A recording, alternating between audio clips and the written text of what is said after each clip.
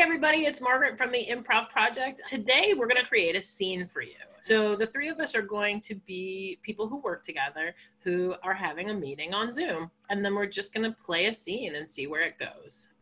Well, uh, Margaret, thank you for, uh, for coming today. Of course, Senator Wade. I'm just here to support Margaret.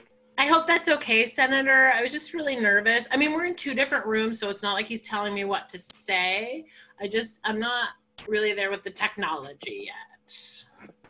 It's just, it's a little awkward because I wanted to discuss Operation Sunburn. Oh, well, I mean, if it makes you feel any better, I tell Sean everything that happens at work. So, Um, is that bad? the, in this particular case, it's not the best.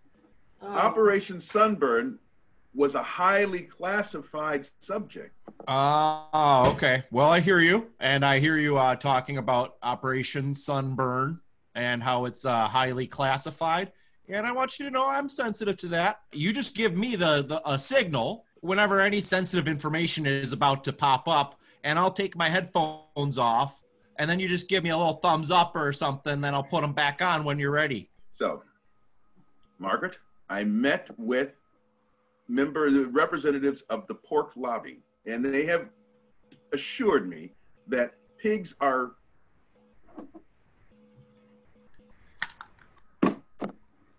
pigs can read. They absolutely can read, What? and they're planning to overthrow the farms.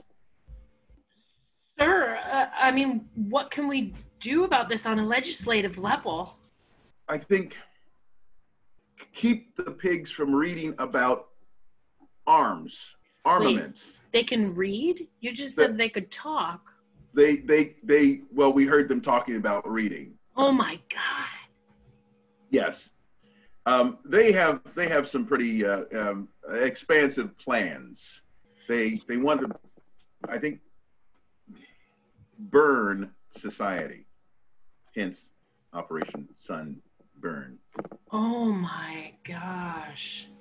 Yeah, they. You know what? Honestly, and I'm not I'm not trying to be funny here, Senator. I really do think that Sean would be helpful in this because he has a, a personal interest in weaponry, mostly medieval, but I think he could really help out here. Okay.